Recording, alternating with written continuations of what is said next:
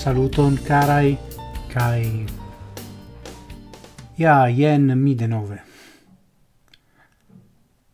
Do mi havis la okazon promenadi en la parco con cara amico kai protio mi ne filmis ion ein novan en la parco kai mi felicias pro tio. Char uh, passas plena tagoi sen uh, contacto cun homo sen uh, ecranoi. Kai ja post iom da tagoi do post tiom da tagoi effettive la fero comencigas. Pesigi sur mia coro mi devastiri. sed ali flanque mi passis eh, bella in vespero in eh, vesper mange cun eh, uh, ge amicoi dum uh, Cristnasco kai poste kai ci vesper ancora mi havas belan inviton do mi ne plendas entute Do mi esperas che vi successas teni homa in contacto in sen bit technologioi inter la contactatoi.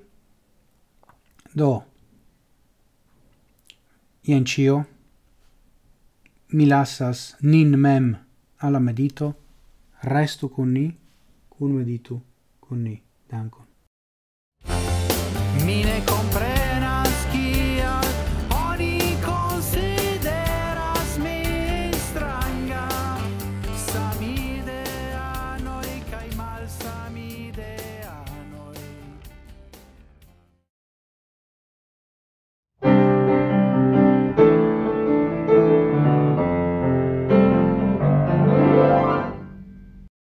Saluton, kai bonvenon al nia nova Zamenhof medito.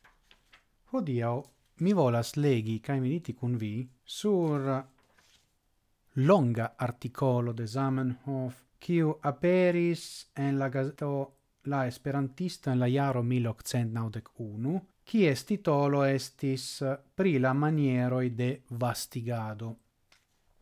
Kai pli precise mi legos el punto ses el pagio naudec hoc.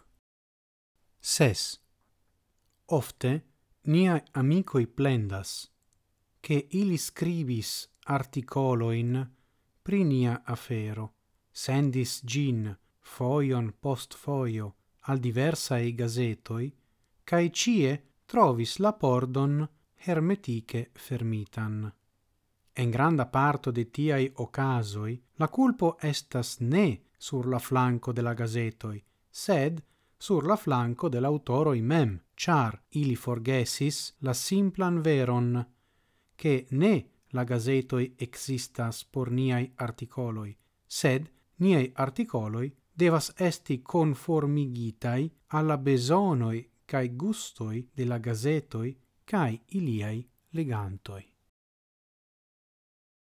Carai, bedaurinde shainas al mi che citiu i vorto ed Zamenhof ancora actualas en multai casoi, char esperantisto i play ofte plendas con la gazetaro pro ne tracto de la afero au mis tracto.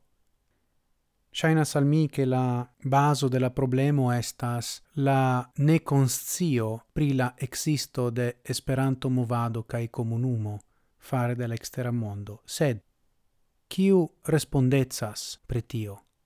Ciu la extera mondo au ciu la esperantistaro? En kiu grado? Kai, ec pli grave, kion ni esperantistoi povas fari? Ni povas respondeci nur pro niai agoi, lau mi. La reagoi estas exter nia respondezzo. Ni povas clopodi anticipi la malbona in reago in caido antau defendi nin de la eblai atacoi.